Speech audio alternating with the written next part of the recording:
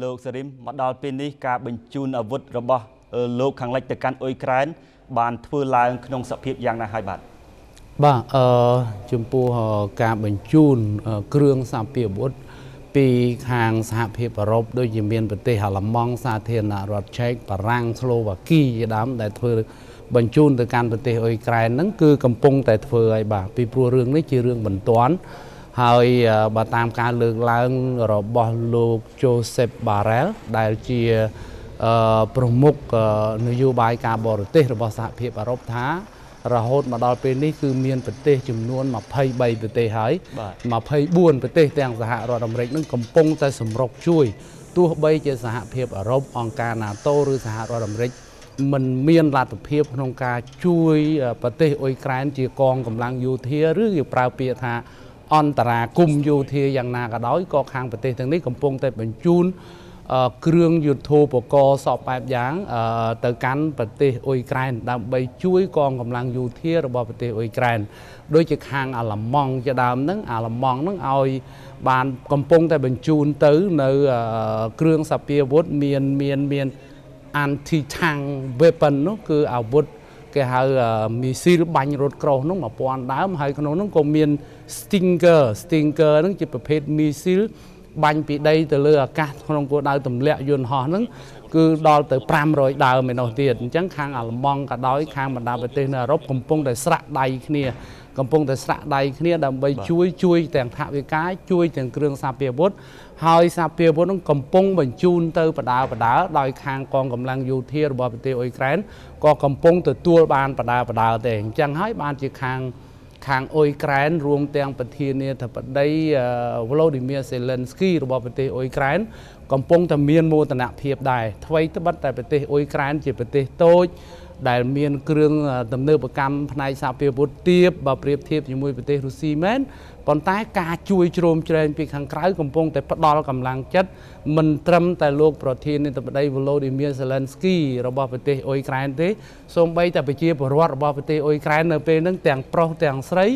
គឺហាក់ដូចជាបង្ហាញពីចេតនាក្នុងការចូលរួមប្រយុទ្ធជាមួយនឹងខាងប្រទេសរុស្ស៊ីខណៈដែលខាងកងកម្លាំងយោធារបស់ប្រទេសរុស្ស៊ីហ្នឹង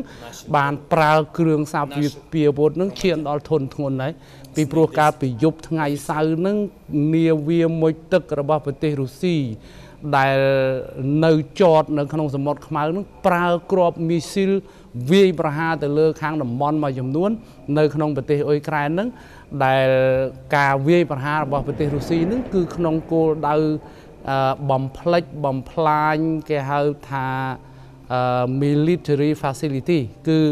ទីតាំងយោធារបស់ប្រទេសអ៊ុយក្រែនដែលមកគិតមកដល់ពេលហ្នឹងមានប្រមាណជា800ទីតាំងជាងហើយដែលត្រូវបានកងកម្លាំងយោធារបស់ខាងប្រទេសរុស្ស៊ីវាយបំផ្លាញតែ ខាងអ៊ុយក្រែននឹងនៅតែមានជំហរទប់ទល់ជាមួយនឹងខាងរុស្ស៊ីនៅឡើយនៅពេលបច្ចុប្បន្នហើយចំពោះទីក្រុងគៀវដែលជាគោលដៅចុងក្រោយនោះគឺខាងកងកម្លាំងយោធារបស់ប្រទេសរុស្ស៊ីមិនទាន់ចូលទៅដល់ទីក្រុងគៀវទេ ហើយការបញ្ជូន គ្រឿងសាពាវុធនានាពីបណ្ដាប្រទេសនៅអឺរ៉ុបក៏កំពុងសម្រុកជួយទៅខាងប្រទេសអ៊ុយក្រែនដែរដែលនិយាយឲ្យខ្លីថារហូតមកដល់ពេលនេះភ្លើងសង្គ្រាមនៅតែឆាបឆេះនៅឡើយរវាងរុស្ស៊ីនិងអ៊ុយក្រែននៅលើទឹកដីអ៊ុយក្រែនហ្នឹងបាទលោកសេរីមជំនួយយោធានេះជាផ្នែកមួយអាចធ្វើឲ្យអ៊ុយក្រែន រៀងកាន់តែខ្លាំងដើម្បីតទល់ជាមួយនឹងរុស្ស៊ីទេពីព្រោះកន្លងមកគេបានមើលឃើញអំពីការមានព្រៀបរបស់រុស្ស៊ីមើលលើអ៊ុយក្រែនតើជំនួយយោធាពីបច្ចឹមលោកនេះធ្វើឲ្យអ៊ុយក្រែនអាចនឹងមានឱកាសក្នុងការវាយតបទល់អាចថាយ៉ាងហោចណាស់នៅក្នុងក្របខ័ណ្ឌនៃកម្រិតស្មារតីឬក៏យ៉ាងណាដែរនៅក្នុងរឿងនេះបាទ បាទបើមើលទៅអំពីសមត្ថភាពយោធាវិញ ដែលថាឲ្យស្មើគ្នាជាមួយរុស្ស៊ីហ្នឹងគឺมันអាចទៅរួចទេបាទមិនស្មើប៉ុន្តែគ្រាន់តែបញ្ហានៅត្រង់ចេះមូលហេតុសំខាន់ដែលរុស្ស៊ីហ្នឹងក៏មិនហ៊ានវាយសម្រុកកសោបយកទីក្រុងគៀវទាំងមូលឬក៏ឈរត្រួតត្រានៅលើទឹកដីអ៊ុយក្រែនទាំងមូលហ្នឹងដោយសារតែ ដោយខ្ញុំបញ្ជាក់ពីខាងដើមបន្តិចមិញអញ្ចឹងទាំងប្រធានាធិបតីទាំងនាយករដ្ឋមន្ត្រី ទាំងមន្ត្រីសំខាន់សំខាន់របស់ខាងប្រទេសអ៊ុយក្រែនរួមទាំងប្រជាពលរដ្ឋរបស់ប្រទេសអ៊ុយក្រែននឹងគឺមហាក់ដូចជាស្រាក់គ្នាប្រមូលគ្នាមានជំហររឹងមាំក្នុងការតតាំងជាមួយនឹងខាងប្រទេសរុស្ស៊ីអញ្ចឹងចំណុចសំខាន់ដូចជាជាឧទាហរណ៍ដូចជាទីក្រុងគៀវមួយចុះទីក្រុងគៀវមួយនេះប្រសិនបើខាងរុស្ស៊ីវាយប្រហារសធប់យកតែម្ដង គឺរុស្ស៊ីអាចធ្វើបានហើយក្នុងរយៈពេលខ្លីទៀតប៉ុន្តែប្រជាពលរដ្ឋមួយទីក្រុងមេដឹកនាំទាំងអស់នៅក្នុងទីក្រុងអាចប្រឈមនឹងការបាត់បង់ជីវិតអញ្ចឹងបើរុស្ស៊ីធ្វើ មានន័យស្មើនឹងការសម្លាប់រង្គាលទៅលើជនជាតិអ៊ុយក្រែនដូច្នេះចំណុចនឹងហើយបានជានៅពេលបច្ចុប្បន្ននឹងរុស្ស៊ីនឹងក៏មិនសម្រុកប្រមាណដែរហើយការវាយប្រហាររបស់ប្រទេសរុស្ស៊ីមិនមែនវាយប្រហារទៅលើទីប្រជុំជនសម្រាប់ជនស៊ីវិលទេ គឺវាយប្រហារទៅលើតែទីតាំង យោធាផ្សេងផ្សេងនៅក្នុងទឹកដីរបស់ប្រទេសអ៊ុយក្រែនអញ្ចឹងបើនិយាយថាឥឡូវហ្នឹងទាំងបញ្ជូនកងកម្លាំងបញ្ជូនគ្រឿងយុទ្ធោបករណ៍ទៅជួយអ៊ុយក្រែនហ្នឹងឲ្យអ៊ុយក្រែនមានសមត្ថភាពយោធា មានតលយៈភាពគ្នាជាមួយរុស្ស៊ីនឹងគឺมันអាចទេបាទมันអាចប៉ុន្តែការតស៊ូរបស់ប្រជាពលរដ្ឋប្រទេសមួយមេដឹកនាំប្រទេសមួយគឺมันងាយនឹងចុះចាញ់ដោយស្រួលស្រួលដោយដែលយើងមើលពីចម្ងាយនោះទេបាទមើលទៅដោយអ៊ុយក្រែនខំស្មៅណាក្នុងការតស៊ូប្រឆាំងទៅនឹងរុស្ស៊ីនេះហើយទន្ទឹមនឹងប្រជាពលរដ្ឋជួយលោកសេរីមចូលដល់មួយកលៈទៀតតកតងទៅនឹងការចូលជាសមាជិក ឃើញមានការចង់បានរបស់អ៊ុយក្រែនគឺចង់ចូលជាសមាជិករបស់សហភាពអឺរ៉ុបបន្ទាន់ថាតើមានមូលហេតុអីហើយថាតើចុះតាក់ទងទៅនឹងការចូលជាសមាជិករបស់ NATO វិញថាតើយ៉ាងមកដល់ពេលនេះក្នុងស្ថានភាពបែបណាហើយហើយថាតើ NATO កំពុងធ្វើអ្វីបាទបាទចំពោះអង្គការ NATO នឹងកំពុងតែជួយជ្រោមជ្រែងដែរប៉ុន្តែវាត្រង់នៅកលឹះអញ្ចេះ នៅកលឹះនឹងការវាយប្រហារគេហាងអន្តរាគមយោធាពីសំណាក់ប្រទេសរុស្ស៊ីចូលទៅកាន់ប្រទេសអ៊ុយក្រែននឹងក៏ដោយសារតែអ៊ុយក្រែននឹងសុំចូលជាសមាជិកអង្គការ NATO ដែរនៅពេលនេះភ្លើងសង្គ្រាមវាឆាប់ឆេះទៅហើយអញ្ចឹងឆាប់ឆេះទៅហើយចំពោះមេដឹកនាំអ៊ុយក្រែនចង់ចូលជាបន្ទាន់ជាសមាជិកអង្គការ NATO ជាលក្ខខណ្ឌបើអ៊ុយក្រែនចូលជាអង្គការ NATO ឬ NATO ប្រកាសទទួលស្គាល់អ៊ុយក្រែនជាសមាជិករបស់ខ្លួន នៅពេលនេះមានន័យថាអង្គការ NATO មានសិទ្ធិគ្រប់គ្រាន់ក្នុងការធ្វើអន្តរាគមយោធាទាំងយោធាទាំងគ្រឿងយុទ្ធោបករណ៍ចូលទៅក្នុងប្រទេសអ៊ុយក្រែនដើម្បីជួយអ៊ុយក្រែនទប់ទល់ជាមួយនឹងខាងរុស្ស៊ីអញ្ចឹងសង្គ្រាមវានឹងឆាបឆេះមិនត្រឹមតែនៅអឺរ៉ុបទេសង្គ្រាមនឹងឆាបឆេះនៅទូទាំងពិភពលោកវាคล้ายជាសង្គ្រាមធំបំផុតដែលជាវិបត្តិសម្រាប់ពិភពលោកអញ្ចឹងហើយបានជាឥឡូវនេះប្រទេសរុស្ស៊ីក៏ដូចគ្នាដែរ ប្រទេសរុស្ស៊ីនឹងកំពុងតែរងចាំដែរហើយការត្រៀមខ្លួនការវាយប្រហារមានស្រេចទៅហើយទៅលើប្រទេសអ៊ុយក្រែនអញ្ចឹងប្រសិនបើខាងអង្គការ NATO ប្រកាសទទួលស្គាល់ប្រទេសអ៊ុយក្រែនជាសមាជិកនោះនោះនឹងរុញការប្រឈមមុខដាក់គ្នារវាងរុស្ស៊ីនិងអ៊ុយក្រែនឲ្យបែកចេញទៅជាសង្គ្រាមកាន់តែធ្ងន់ពីព្រោះឥឡូវនេះខាងរុស្ស៊ីក៏ថ្នមដែរមានន័យថាការវាយប្រហារពីសំណាក់រុស្ស៊ី ទៅលើប្រទេសអ៊ុយក្រែនហ្នឹងក៏ថ្នមដៃដែរមិនមិនសធ្ប់ខ្លាំងហើយក៏គិតទៅដល់អាយុប្រជាពលរដ្ឋស្លូតត្រង់ដែរអញ្ចឹងហើយប៉ះសិនបើអង្គការ NATO នឹងដាក់បញ្ចូលអ៊ុយក្រែនពេលដែលរុស្ស៊ីកំពុងវាយនឹងនោះរុស្ស៊ីនឹងបង្កើនឥទ្ធិពលកាន់តែខ្លាំង ក្នុងការវាយប្រហារទៅលើប្រទេសអ៊ុយក្រែនហើយគ្រោះមហន្តរាយធំធេងអាចនឹងកើតមាននៅក្នុងប្រទេសអ៊ុយក្រែននៅទូទាំងសហភាពអឺរ៉ុបរួមទាំងនៅទូទាំងពិភពលោកទៅទៀតអញ្ចឹងចំពោះអង្គការ NATO គឺគិតអ្វីដែលខ្លួនអាចធ្វើបានដូចជាការបញ្ជូនគ្រឿងសព្វាវុធឲ្យទៅខាងប្រទេសអ៊ុយក្រែនជាដើម ដោយការដាក់បញ្ចូលប្រទេសអ៊ុយក្រែន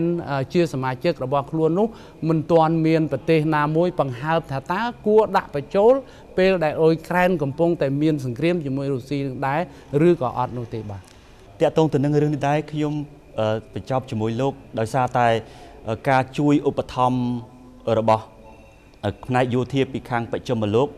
ហើយតាក់ទងទៅនឹង NATO នេះក៏ប៉ុន្តែយើងឃើញការជួយឧបត្ថម្ភនេះ គឺសិតសឹងតែជាសមាជិករបស់ NATO ពីប្រទេសសមាជិកតើនេះជាការបង្ហាញមួយថាបើទោះបីជា NATO ខ្លួនឯងមិនមានកម្រើកប៉ុន្តែប្រទេសសមាជិក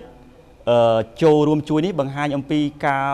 សកម្មភាពមួយរបស់ NATO ដែរឬទេឬយ៉ាងម៉េចបាទ បាទមើលនេះតាមពិតទៅបណ្ដាប្រទេសនៅសហភាពអឺរ៉ុបហ្នឹងគេហៅសមាជិកអឺរ៉ុបហ្នឹងគឺប្រទេសស្ទើរតែទាំងអស់ជាសមាជិករបស់អង្គការ NATO បាទអញ្ចឹងអឺរ៉ុបនិង NATO ហ្នឹងស្ទើរតែមួយទៅហើយប៉ុន្តែគ្រាន់តែ NATO វាមានវិសាលភាពធំជាងអឺរ៉ុបដោយសារតែមានទាំងសហរដ្ឋអាមេរិកជាដើមហ្នឹងចូលរួមវាជាសន្ធិសញ្ញាអាត្លង់តិកខាងជើងអង្គការសន្ធិសញ្ញាអាត្លង់តិកខាងជើង អឺ